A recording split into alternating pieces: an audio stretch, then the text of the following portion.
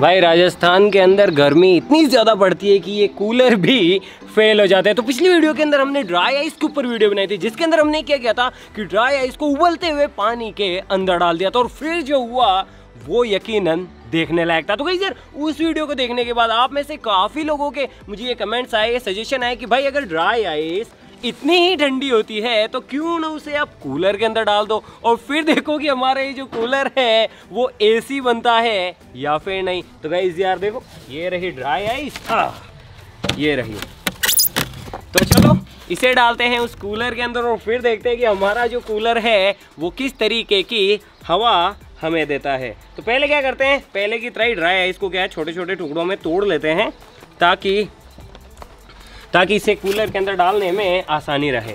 एक बार फिर से बता दूँ, जो ड्राई आइस है, वो नॉर्मल आइस से काफ़ी ज़्यादा ठंडी होती है, करीब करीब माइनस अस्सी डिग्री सेल्सियस तक। और इसे हम हथौड़े से भी तोड़ सकते हैं। तो तोड़ना शुरू करते हैं।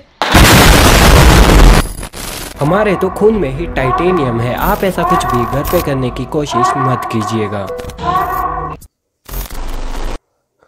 राइट गाइस तो आप देख सकते हैं कि हमने सिंपली हमारी ड्राई आइस को बारीक बारीक टुकड़ों के अंदर तोड़ लिया है। अब आप इस चीज़ से अंदाज़ा लगा सकते हैं कि हमारी इस लोहे की पतेली का क्या हाल हो गया। नीचे घास के देखो गाइस घास कितनी ज़्यादा ठंडी हो गई है। तो इससे आप अंदाज़ा लगा सकते हैं कि जो ड्राई आइस होती है, वो कितनी ज़्यादा ठंडी होती है। तो चलो अब इसे फटाफट से इस कूलर के अंदर डालते हैं और फिर देखते हैं कि क्या होता है। कैसी हवा देता है हमारा कूलर ठीक है? राइट एक दो इसको लगा दियो जैसे ही जैसे ही मैं ड्राई आइस डालू ना इसको लगा दियो ना। एक दो तीन। ओ ओ तेरी! लगा लगा जल्दी लगा। ओह माय गॉड गाइस देखो। चलो फटाफट से कूलर चलाते हैं ठीक है? कूलर चलाते हैं एक दो तीन।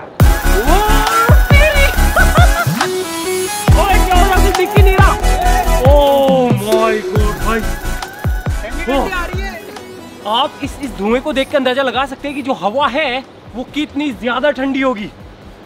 भाई एसी फेल है। ओ, सही में यार। देखो। ओ सम यार। और अगर मैं कूलर को बंद करता हूँ तो अंदर ड्राई आइस देखो कैसी आती है। आइस देखो। मैं थोड़ा सा फूक मार के आपको दिखाता हूँ पानी का हल्के है ना। देखो ड्राई आइस किस तरीके से उबल रही है, देखो। यहाँ पे देखो ऊपर जमी हुई है। गाइस कूलर का पानी देखते हैं। कूलर इतना ज़्यादा ठंडा हो गया है कि बहुत ठंडा हो गया है। देखो। यार। आपका सवाल था, जवाब मुझे मिल गया। मैं आपको बताता हूँ कि जी हाँ डेफिनेटली अगर अपन कूलर के अंदर ड्राई आइस डालते हैं ना तो हमारा जो कूलर है, वो एसी से भी ज़्यादा ठंडी हवा देता है। क्योंकि यार देखो एसी है ना, उसकी हवा काफ़ी धीरे आती है, लेकिन इसमें से इतनी तेज़ हवा। और वो भी इतनी चिल्ड, एक नंबर। तो हमारा कूलर डेफिनेटली एसी बन गया है, लेकिन यहाँ पे एक छोटी सी दिक्कत है। बंद हो जा। यहाँ पे एक छोटी सी दिक्कत है। इसको अपन परमानेंटली नहीं चला सकते हैं, क्योंकि ड्राई आइस का जब तक असर रहता है, तब तक ये ठंडी हवा देता है। जैसे ड्राई आइस का असर ख़त्म होगा कूलर का भी असर ख़त्म हो जाएगा, फिर से वही अपना पुराना वाला बन जाएगा। और साथ ही साथ इसे रूम के अंदर इस्तेमाल नहीं कर सकते हैं। क्योंकि इसके अंदर से जो गैस निकल रही है वो कार्बन डाइऑक्साइड है। अगर रूम के अंदर इस्तेमाल किया तो पूरा रूम कार्बन डाइऑक्साइड से भर जाएगा।